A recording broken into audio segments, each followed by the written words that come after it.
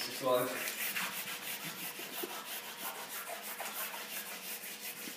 This process is called reduction drawing. You cover the paper with charcoal or graphite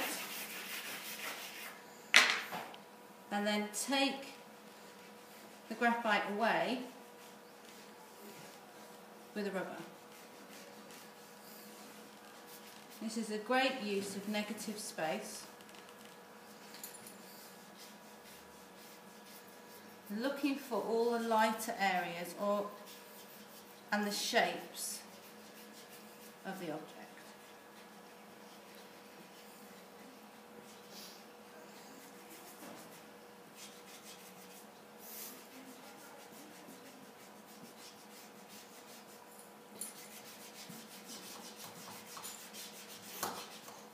Stop.